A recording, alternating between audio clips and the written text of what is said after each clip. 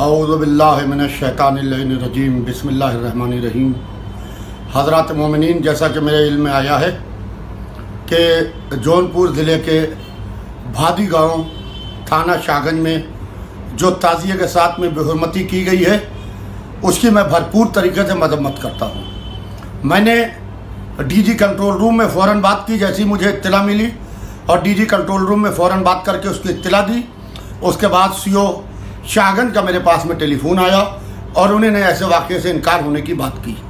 मगर बड़े अफसोस की बात है, जो मैंने वहाँ के वीडियोज़ देखे और जिस तरीके से वहाँ से लोग गिड़गड़ा गिड़गड़ा के फरियाद की दुआएँ मांग रहे थे और वहाँ के पुलिस के नाइंसाफ़ी और पुलिस का जो ज़बरदस्त तरीके से सख्त रवैया था, उसकी मैं भरपूर तरीके से मजम्मत करता हूँ। मैंने आज उस इंस्पेक्टर को ज़बरदस्त तरीके से उसको सस्पेंड करने की मांग की है। इसके अलावा जौनपुर, भादी के अलावा और जहाँ जहाँ मामले मेरे इल्म में आए हैं, वो आगरा में मोहल्ला शाहगंज है। मोहल्ला शाहगंज के इमामबाड़े में, आगरा में। पुलिस ने बीच मजलिस में घुस के पुलिस को मजलिस को रोकने की कोशिश की है, जिसकी रिपोर्ट मैंने IG Agra, mister Vinay, mister Naveen Arora ji को बाकायदा इसकी इतला दी और उन्होंने बाकायदा इस मामले को संज्ञान में लिया और मैंने बाकायदा उस इंस्पेक्टर को भी सस्पेंड करने की मांग की है और उस चौकी इंचार्ज को कि जो बीच मजलिस के अंदर दराना घुसता हुआ चला आया, कोविड के नियमों का पालन करते हुए वहाँ के ऊपर मजलिस हो रही थी।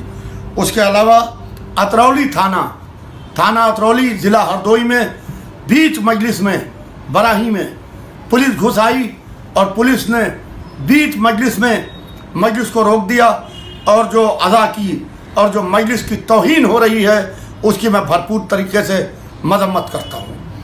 क्योंकि यह सरकार, वो सरकार है कि एक तरफ़ सबके विश्वास की बात होती है, मोदी जी कहते हैं, मगर बड़े अफसोस की बात है, हमारी कम्युनिटी, हमारा छोटा सा शिया समुदाय, हम अकलियत में अकलियत हैं, हम माइनॉरिटी में माइनॉरिटी हैं, हम क्या चाहते हैं आपसे?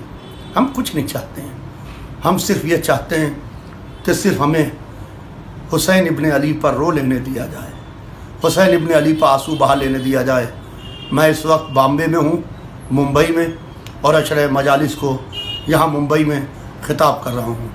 यही इतला बहराइच से भी आ रही है, यही इतला मऊ से आ रही है, यही इतला जौनपुर से आ रही है।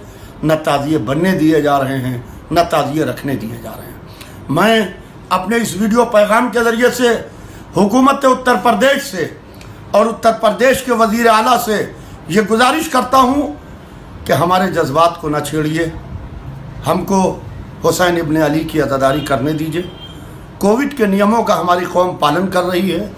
हम ना आपसे जुलूस उठाने की बात कर रहे हैं, न जुलूस निकलवाने की बात कर रहे हैं। हम डब्ल्यू की गाइडलाइन, मरकज़ी हुकूमत और सूबाई हुकूमत की जो भी गाइडलाइन है, उस गाइडलाइन के तहत अजादारी, मुहर्रम, धार्मिक प्रवचन करने की मांग कर रहे हैं। लिहाजा मैं अपने इस वीडियो पैगाम के ज़रिए से, मैं उत्तर प्रदेश के वज़ीर अली से, उन तमाम ज़िलों में जहाँ जहाँ अजादारों को और ताजियेदारों को सताया जा रहा है फ़ौर रोकने की आल इंडिया शिया पसला बोर्ड की जानब से मांग करता हूँ। फ़कत वसलम